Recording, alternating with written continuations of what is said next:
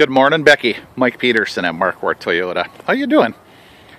I'm standing in front of an absolutely gorgeous silver Tacoma.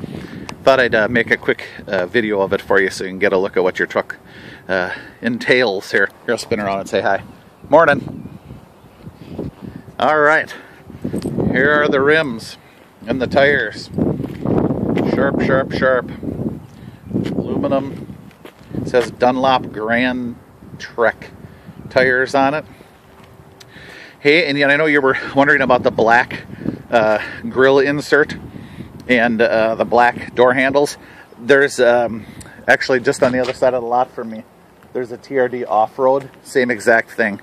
So they just, I, am assuming they come with that, unless you get like a limited top end. So that's what they, that's what they've got. So here's a little bit better look down the side do a nice walk around so you get a look at the whole thing. This one's got the uh, the nice mud flaps on it too as well. They stick down little ways, but they really keep the crud off the vehicle. It's pretty cool. And it's got the rock chip protector here. There's a little kind of a sticker thing. I'm not sure if you can see it on the video, but that and all down along the side, kind of on the rocker and stuff too. Take a look at the box here.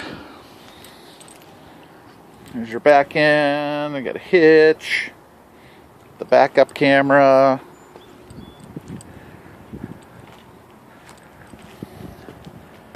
That's a sweet truck. All right. I'll back up and give you a full front end look here as well. Okay, we'll show the inside now. Love making this a 20 minute video for you. All right. Here's the inside.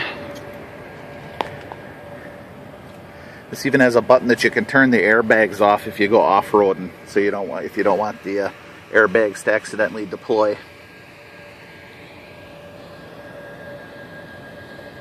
Go to the back here.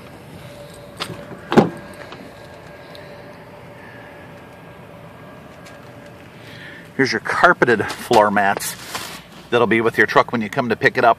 And we're ordering out those WeatherTechs for you and would mail them right out to you. So here I'll give you the full look at the inside of it that way.